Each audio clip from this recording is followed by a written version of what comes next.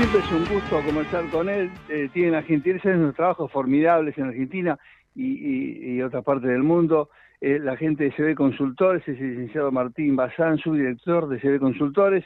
Eh, eh, Martín, estimado Ignacio lo saluda, buenos días, ¿qué tal? ¿Cómo estás? Ignacio, un gusto saludarte, gracias por la, por la invitación. No, por favor, gracias Martín. Si me permitís, arranco para afuera. Están midiendo ustedes con un muy buen trabajo la, esta segunda otra apasionante de Uruguay. Contanos qué, indican su número. Parece que es muy cerrado el tema, ¿no? Sí, muy parejo todos los, los estudios, por lo menos que, que se han dado a conocer, tanto en Uruguay como, como lo nuestro acá, eh, nos han dado menos de, un punto de diferencia. Eh, 51.8 tenemos nosotros para Yamandu Orsi eh, y 49 eh, 51.8 para para Orsi y 48.2 para Delgado, ¿no?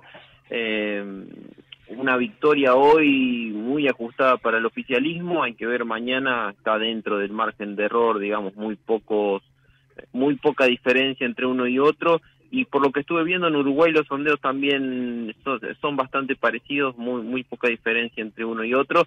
Recordemos que Orsi representando hoy al oficialismo en Uruguay y Delgado representando un poco a, ese partido multicolor que aglutinó a toda la toda la oposición, ¿no? Martín, ¿a, qué le llaman ustedes técnicamente, no? Error eh, estadístico. ¿Qué se considera eso? ¿Qué número es y para qué responde eso?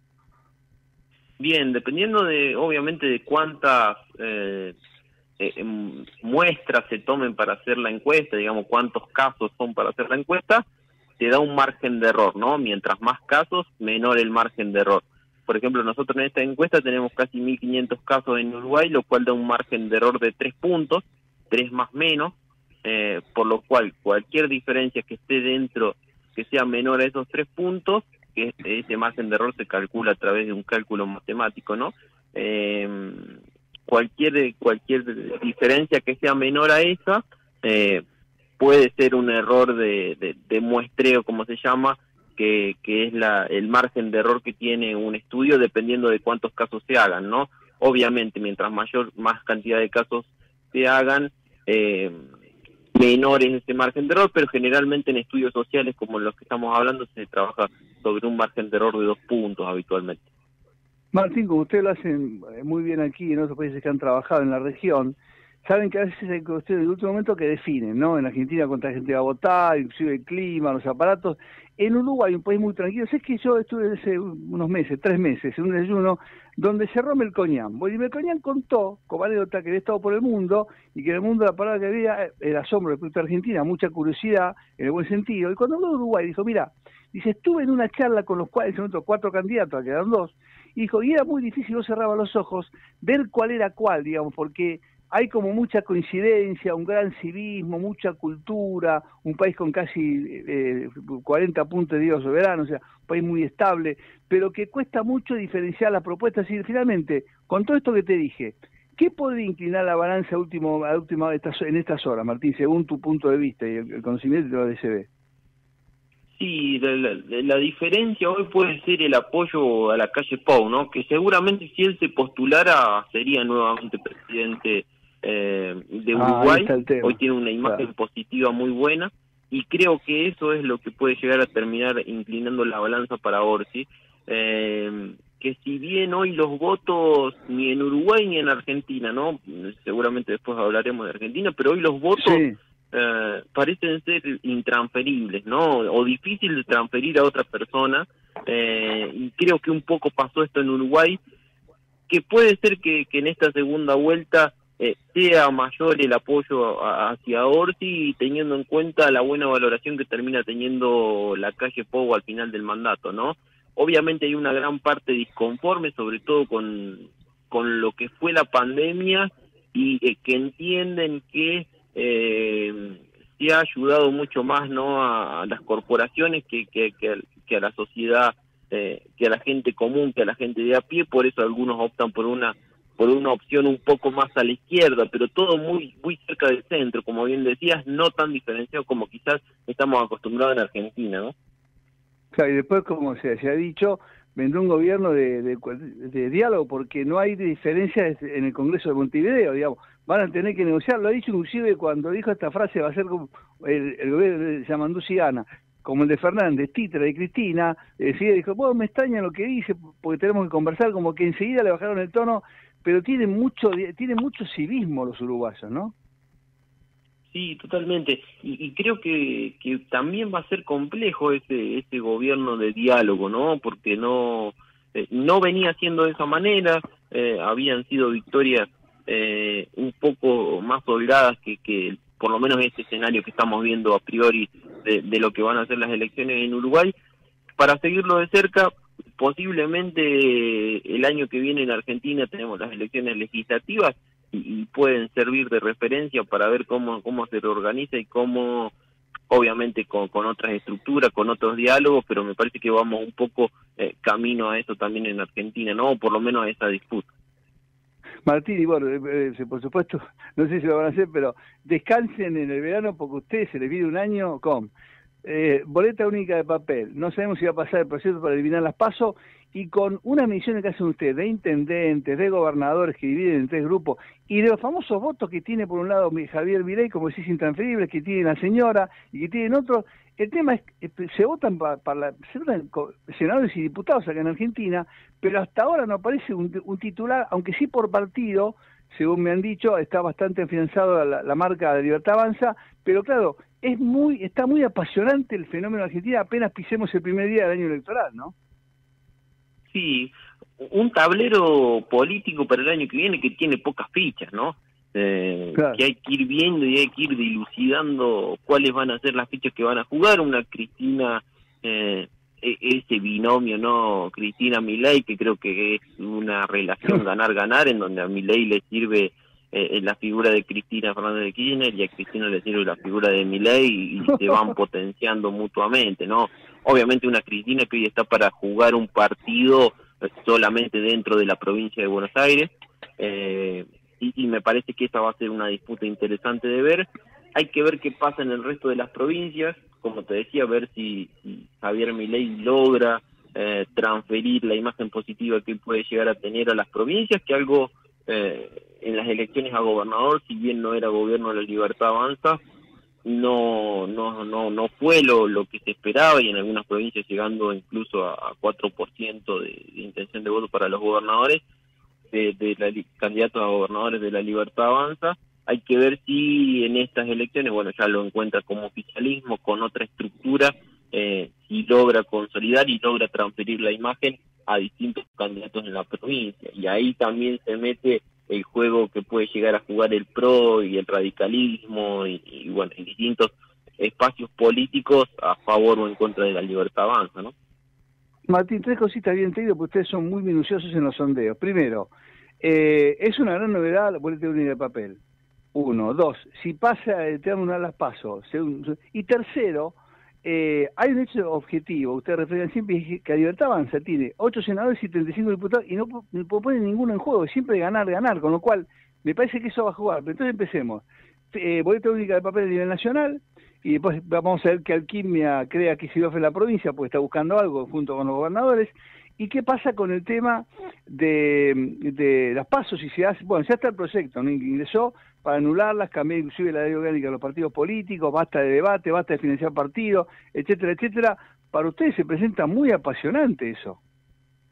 Sí, eh, sobre todo, bueno, nosotros, eh, CB Consultora radica ¿no? en la provincia de Córdoba, donde la boleta única ya la utilizamos hace bastante tiempo y no ha habido modificaciones, digamos, desde, desde lo estrictamente técnico, ha sido bastante fácil la, implementación, no no ha tenido grandes dificultades. Quizá en, las primeras dos elecciones o en la primera elección eh, ha habido alguna dificultad, sobre todo con, con, la gente más grande o alguna gente que, que llegaba con más desinformación, eh, pero después las informaciones en la mesa de votación eran bastante didácticas y bastante fácil de implementar. Eh, nosotros acá también en Córdoba está la posibilidad de votar en el primer casillero a toda la lista, que tengo entendido que no se va a hacer eh, así a nivel nacional, que en cada en cada columna, digamos, va a haber que marcar eh, por un candidato a, los distintos a los, distintos eh, sectores que se voten, ¿no?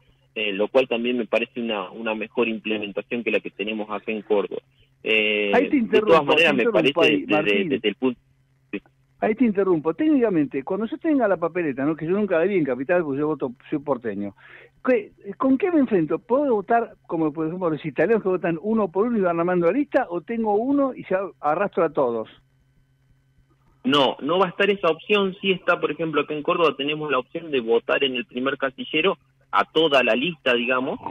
Eh, mm. lo, lo que se planteó a nivel nacional es que esa opción no esté eh, y que sí se, en cada columna, digamos, de las opciones que tengamos, vamos a poder votar eh, al candidato que nosotros deseamos, así sea de la misma lista o sea de listas completas. O sea, va a haber que poner tantas cruces como columnas haya en, la boleta, dependiendo no de cada distrito, si se votan senadores y diputados, si solo se vota diputado, o en, futuras elecciones si se vota intendente, eh, gobernador y, presidente en algunas provincias que hay elecciones múltiples, ¿no? Eh, en cada columna habría que marcar por una de las opciones, no estaría la opción de marcar la lista completa. Ah, perfecto, muy buena explicación.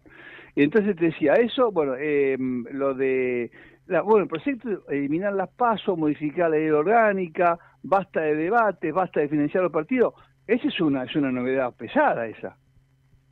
Sí, hay que ver qué apoyo termina teniendo en el Congreso. Nosotros lo tenemos medido a nivel de opinión pública. Eh, la gente está muy de acuerdo ¿no? con esta medida, sobre todo con la eliminación de las pasos. Eh, también teniendo en ah, cuenta el contexto de enojo que, hay en la sociedad con la política en general, ¿no? Tiene muy pocas ganas de ir a votar la gente, sobre todo con un descontento hacia la clase política, por lo cual la eliminación de las pasos eh, pinta como uno, una propuesta jugosa, ¿no? En la cual pueden ir un montón de otros, de otro combo que, que termine poniendo el oficialismo. Hay que ver qué acatamiento termina teniendo eh, en en la Cámara Legislativa no para para ese para ese apoyo sobre todo porque lo van a votar partidos políticos no que se estarían viendo perjudicados con muchas de esas medidas. Martín como siempre la última te dejo la justicia del poste. La madre de todas las batallas. Provincia de Buenos Aires bueno, si está viviendo la Cámpora ahí se lo vimos Mayra contra contra contra Ferraresi eh, Máximo contra hay una cosa hay un barullo grande y sabe que ahí se da la batalla te pregunto lo que te decía hoy eh, la libertad no pone ninguna banca en juego. ¿Ves posible finalmente un acuerdo parlamentario con PRO, con otras fuerzas para, eh, digamos, dar la pelea en Buenos Aires? ¿Cómo ves esa posibilidad? Porque dentro de un mes estamos pisando el año electoral y se tienen que empezar las conversaciones, ¿no? Si ya lo empezaron. Sí, seguramente se den. Nosotros en los sondeos que tenemos, está bien que hoy el peronismo está más dividido que nunca, lo cual también termina siendo, eh, termina favoreciendo a, a la libertad avanza, ¿no? Eh, que, tiene muy poco por perder dentro de la provincia de Buenos Aires, casi nada.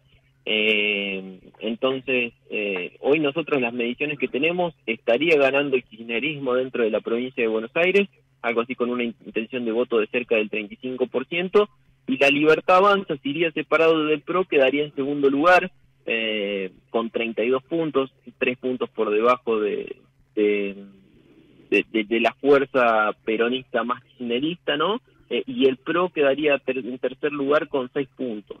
Eh, si la Libertad Avanza y el PRO irían juntos, hoy estarían superando a, al kirchnerismo dentro de la provincia de Buenos Aires, lo cual sería una derrota durísima, ¿no? Hay que ver si ahí eh, termina pesando más eh, el título mediático de que la Libertad Avanza le podría ganar al kirchnerismo la provincia de Buenos Aires pero también si van juntos la Libertad y Avanza y el PRO, eh, la Libertad Avanza tendría más por perder, ¿no? Porque tendría que compartir bancas, eh, que quizás que si fuera solo no habría tanta diferencia en las bancas que podría llegar a ganar, ¿no? Sería una o dos pueden votar juntos. Después pueden votar juntos en la legislatura, muy fácil, ¿no? Después de, ocupar la banca. Sí, obviamente, pero bueno, nunca, hay que ver qué quiere ofrecer uno y qué tiene para perder el otro, ¿no? En esta negociación Seguramente yo entiendo que van a ir juntos en muchos distritos. Hay que ver si se toma, también está interesante de ver si se toma una sola eh, estrategia a nivel nacional o por distritos se van analizando eh, distintas variables, ¿no? Por ejemplo, en Córdoba bueno, hay que ver qué rol juega el radicalismo y qué rol juega el radicalismo a nivel nacional también, ¿no?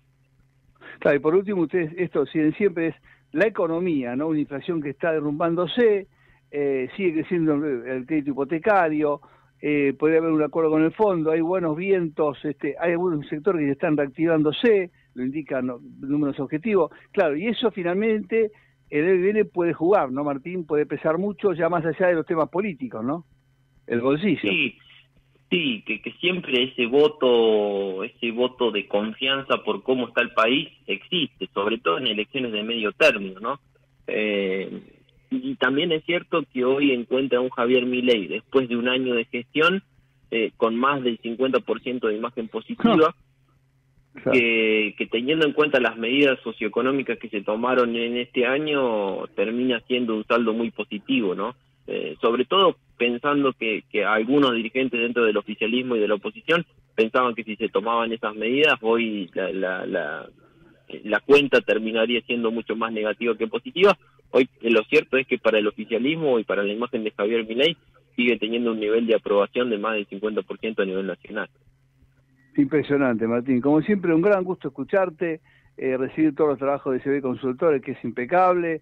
Bueno, estaremos, eh, falta un mes y pico, estamos eh, brindando por Navidad Año Nuevo, vendrá el verano que para mí va a ser muy movidito, y bueno, después empezarán los sondeos, ustedes en casi una vez por mes o, más seguido, y vendrá el año electoral, ¿no? Se va a contar, en, hasta podés contarlo en semanas, en un gran número, lo que nos va a separar, depende si hay paso o no, de las elecciones, va a estar muy apasionante el año.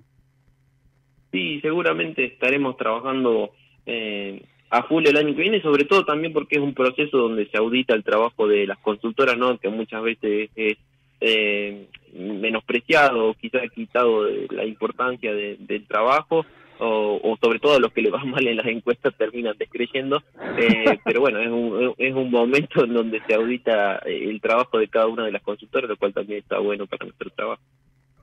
Martín, como siempre, un gran gusto, un saludo para la barra de CB Consultores en Córdoba y en todo el país y siempre a las órdenes. Un gran gusto escucharte. Gracias por tu gentileza de tenernos un sábado.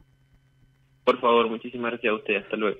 Gracias, Martín. Martín Bazán es uno de los subdirectores de CB Consultores, una de las consultoras más importantes del país.